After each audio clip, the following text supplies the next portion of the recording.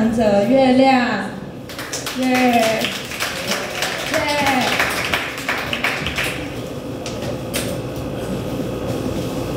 不好意思，在开始之前，我可以邀请大家，就是我们把椅子搬起来，再稍微往前坐一点嘛。对对对，因为我觉得这样子好像有点距离，有点恐怖。那我们这边这边两排灯可以关吗？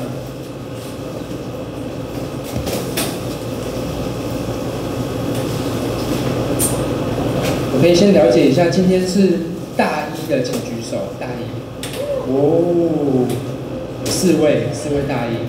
好有趣哦，因为我我我我我刚才在想一件事情，就是这活动到底会不会有大一的出现？因为以前大一的时候，我记得我刚入学的时候，就是在看那些社呃社团的摊位啊，然后可能下下课也就早早的回家啦，所以我通常不会去留意到有什么样的活动资讯，或是留下来参加什么活动。对，然后那时候。参加其实刚才我听到很多人有，就是可能过去有跑很多社团啊，跑很多活动等等。那我其实之前大一的时候也是参加呃急救康复社，大家知道吗？校内有这个社团嘛，对不对？还在嘛，对不对？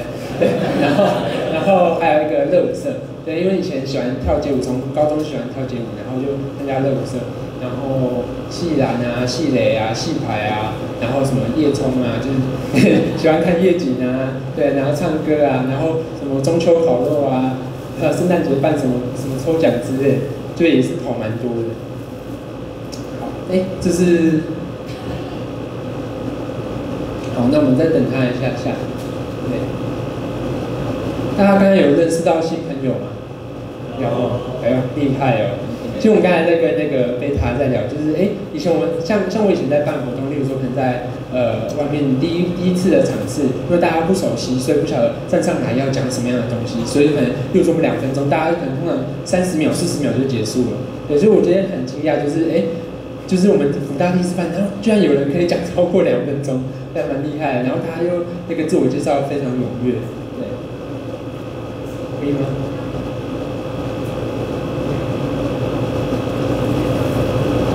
那我偷跑一下，就是今天的主题，大家分享的是少年月亮的烦恼。什么是少年月亮的烦恼？就是嗯，我相信大家可能在这个阶段，就是你可能大一、大二、大三，然后有都有这样的一个，就是有有有这样可能有有一段会忧郁的时间，就是你开始在迷惘自己的未来到底要往哪个方向走，对不对？可能会有这样的一个方向，但但大一可能没有，就是只是由于说啊，明天到底要去玩什么，不晓得，对。嗯，然后，因为，可以吗？好，然后，先呃，因为我大大学念的是图资系嘛，那我不晓得大家当时在念呃选择科系的时候是怎么选的，嗯，可以跟我讲一下你当时怎么选择你的科系？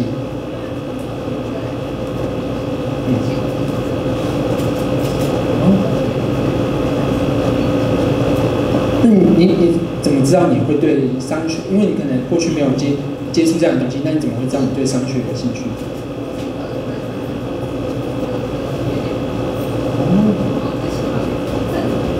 厉害，对，所以有的还是知道，就从小可能接触一些东西，然后触发了他可能后来在大学科系选择这个。因为我之前去参加一个呃呃叫它是教育的费力费力的组织。然后当时我听到就是那个辅导老师，因为辅导老师啊，他就会问很多的高中生为什么你想你想念什么样的科系？为什么？然后那时候他问了一个学生，他说：“哎，你想念什么样的科系？”那个学生回答说：“他想要念财经。”然后老师就问他说：“为什么想念财经？”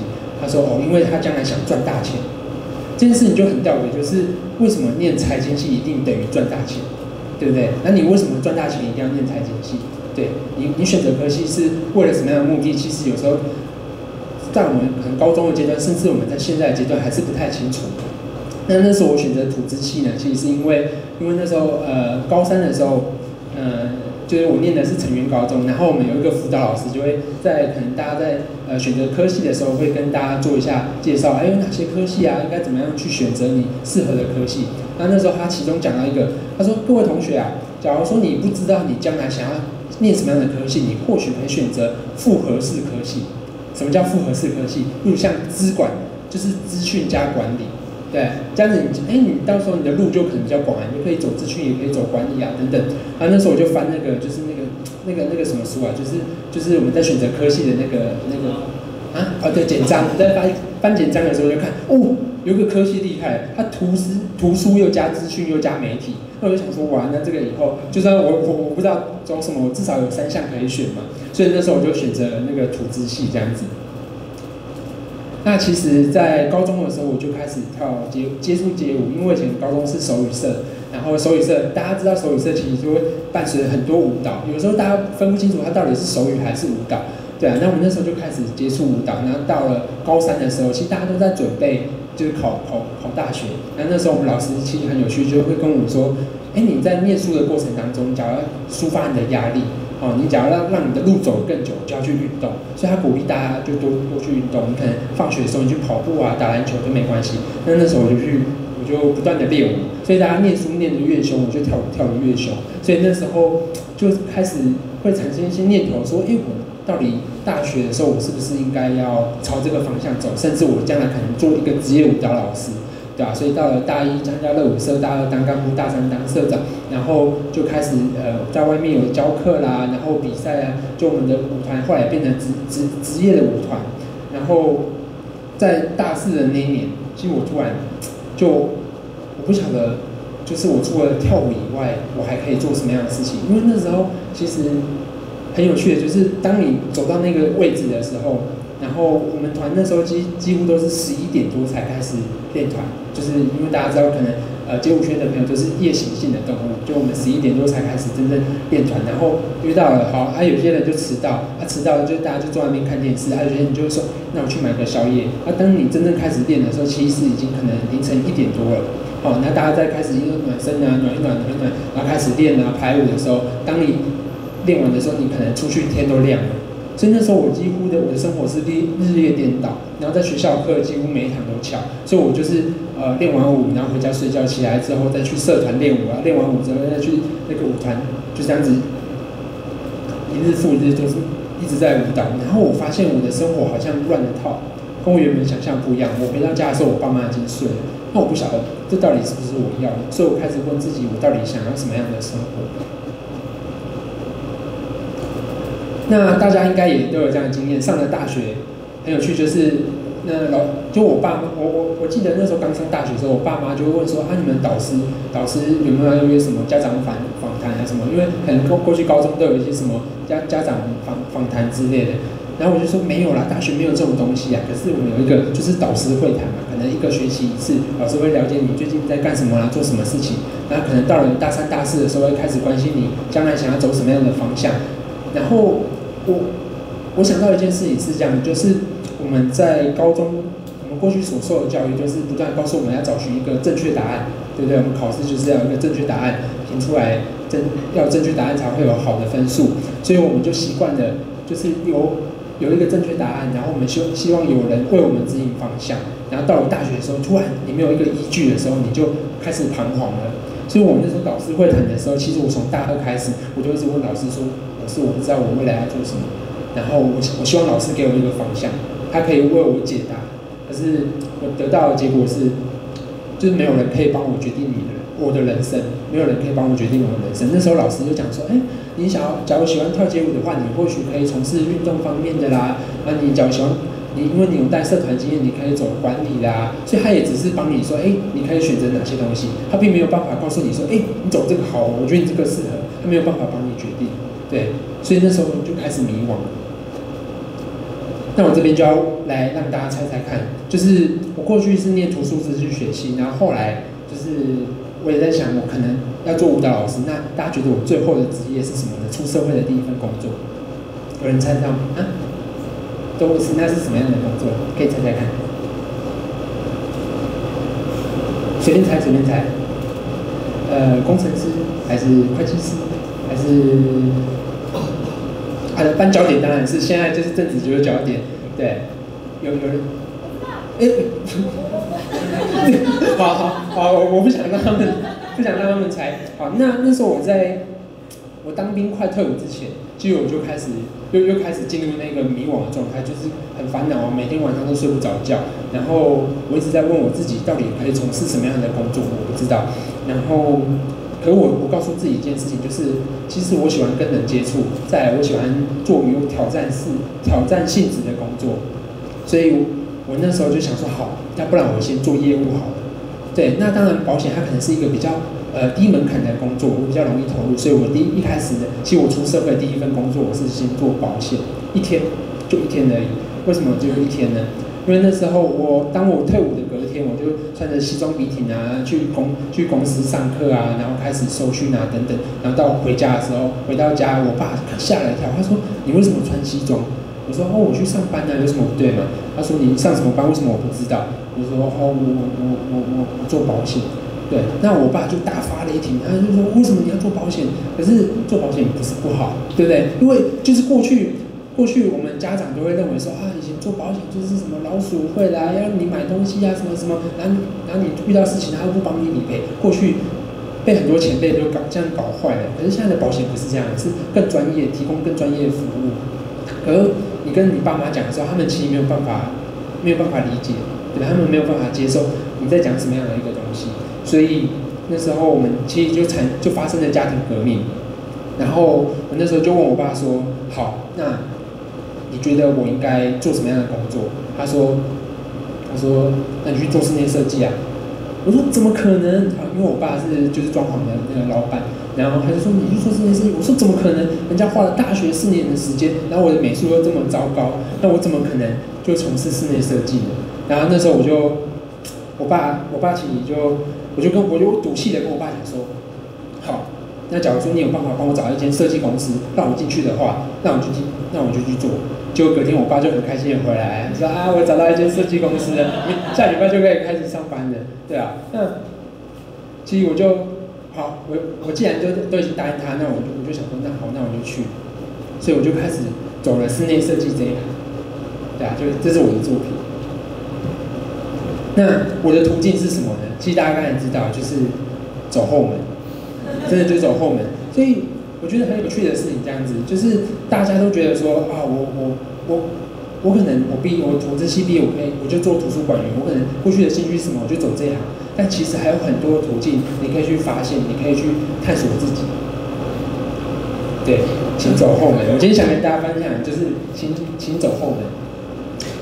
当然，我除了走后门以外，我还是有做一些努力。例如说，我因为我我非本科系的，那我在入行的第一天，老板就跟我讲说，在两个礼拜之后，我要丢给你第一份图，所以你要想办法去呃把这个绘图软体学起来。然后我们两个礼拜之后就开始上工，对，然后我就开始去进修啊，去去外面补习啊，然后翻书啦，然后在工地的时候就开始问师傅啊，说哎这个工法怎么样啊？为什么这个瓷砖要这样贴啦？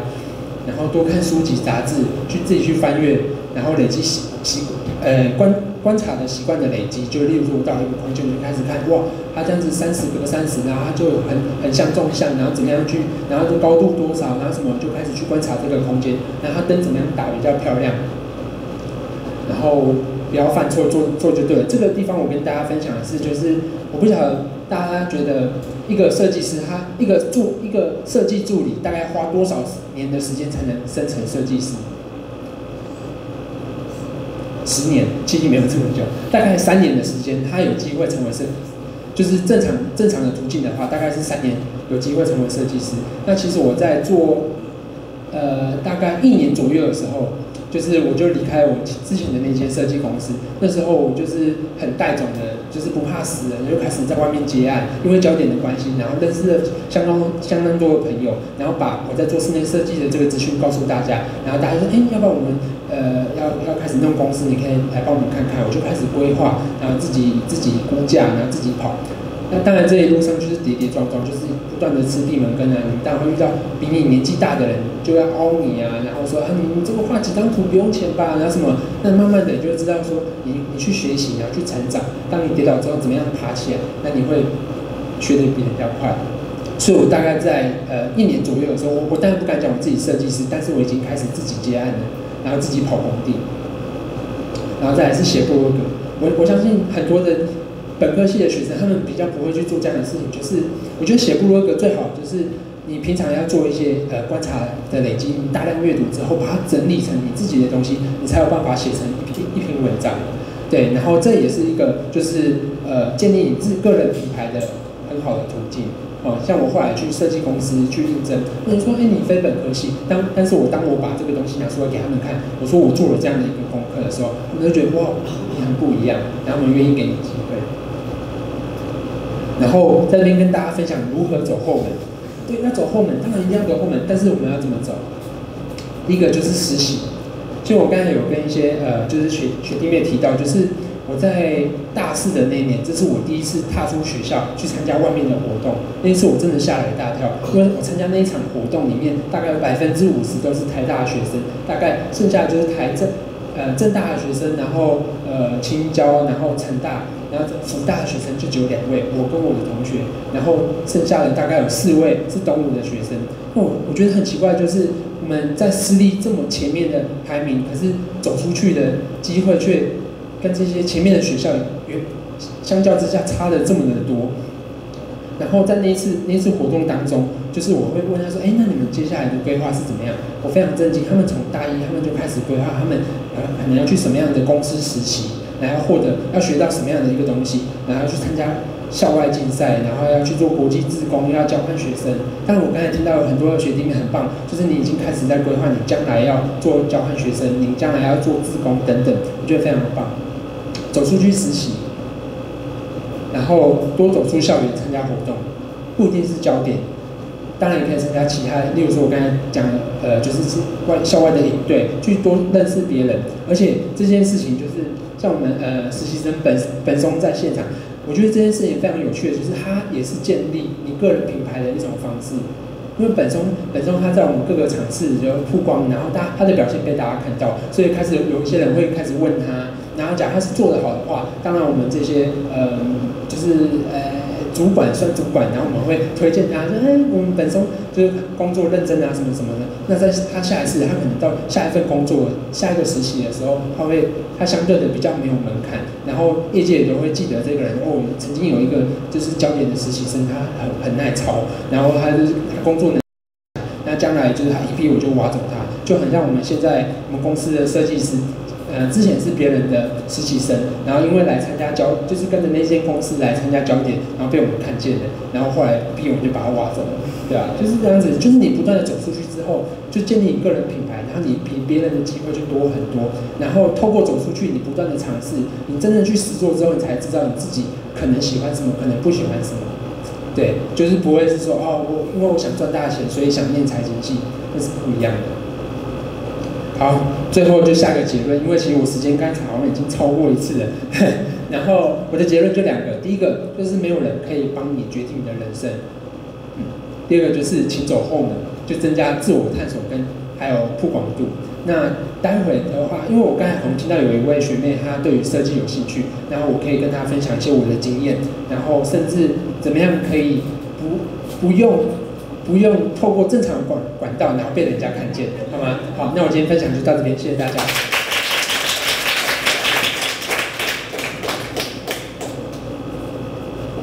好，那现在有五分钟的问答时间，大家可以问月亮有没有对于他的分享有没有什么问题？有吗？有吗？有吗？来。没有没有。他只是不是？你先，你先。呃，其实哈，在我个人认为啦，月亮刚刚说走后门的方式，其实那并不是一种偷鸡的方式，而是你掌握了你认识那个人的资源，你才有办法走到那个后门。那也是一段的努力，因为你必须要对那个人做出一定的责任，而取得一定的认同，才有办法做到这样的地步。那我觉得今天呢，所有人都可以透过一些认识其他不一样的人。呃，得到一些自己其他不一样的资源，而这些资源呢，不是学校教你的，也不是别人准备给你，而是你看到你想要去获取、catch 到的，那是你自己的东西。所以你说走后门，而讲我同意一半，不同意另外一半，因为不要否定自己，这是你自己得到的。OK。好，谢谢。我还蛮喜欢走后门。呃，那个房事的话就不要。好，那还有人有问题吗？呃，你好，就是刚刚刚在演讲里提到说，哦，就是要就要为自己做选择嘛。那请问，当你勇于去做选择之前呢，你要准要什么样的准备呢？做选择之前，对，就是你做出做出突破跟尝试之前要做什么样的准备？就我我我举我举焦点这个例子来讲哈，其实我们没有任何准备，就是傻傻的去做就对。因为我记得那时候我跟就是我另外共同创办人，那时候我们在讨论这个东西，就是我们为什么我们我们想要做焦点，我们想要做一个分享的聚会，让大家来分享他们自己的故事的时候，其实我们问了非常多的朋友，我们问了非常多朋友，每个人都觉得不可行，因为他们。问我们说，哎，我们入场要收费，然后我们让大家来这边聊天。他说，台湾人这么呃内羞害相，他们怎么可能就是愿意跟跟别人，对跟别人做自我介绍？怎么？哎，内向害羞，内向害羞，怎么可能敢跟别人聊天？怎么敢跟别人 social？然后你要让你要让他付钱站上这个舞台，分享他自己的故事，就是他觉得不合逻辑，大家都觉得不合逻辑，你势必一定要提供一些东西，例如说好吃的食物。然后，例如说，就是对的主题才会吸引到大家。